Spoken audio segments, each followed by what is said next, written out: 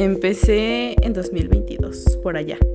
Este, empecé porque a mí me gustaba ir a shows, pero no iba nunca, porque no tenía con quién ir.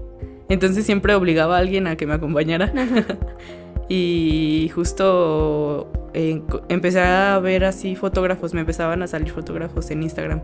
Y ya yo los empezaba a seguir, empecé a seguir a Sam, por ejemplo, Sam Hart, Este, y yo veía sus fotos y decía, ay, qué chido, ese trabajo de estar bien padre, ¿no? Y mm, luego también conocí a Mitsu, que también yo veía su trabajo y decía, que, o sea, está increíble. Y un día fui a un show aquí en San Luis, fui a un show de Serbia y justo vi a una morrilla que andaba ahí tomando fotos y dije, ay, qué padre. ¿Cómo le hiciste? Y ya ahí como que me salió la espinita de que yo quiero intentarlo. Y ya un tiempo después, este, la verdad es que no me animé yo, me ayudó Mitsu.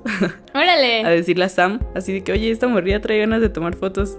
Y ya, este, un día, pues le dije a Sam de que, oye, eh, ¿cómo es que puedo hacer esto, no? O sea, ¿cómo le entro?